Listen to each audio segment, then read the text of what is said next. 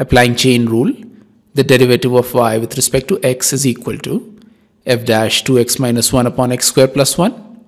multiplied by the derivative with respect to x of 2x minus 1 upon x square plus 1. Now f dash x is given to be equal to sine x square.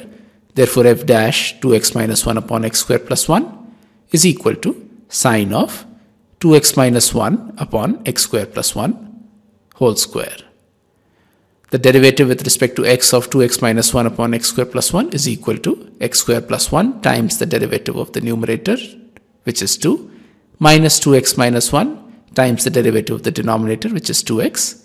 divided by x square plus 1 whole square. Therefore, dy by dx simplifies to 2x square plus 2 minus 4x square plus 2x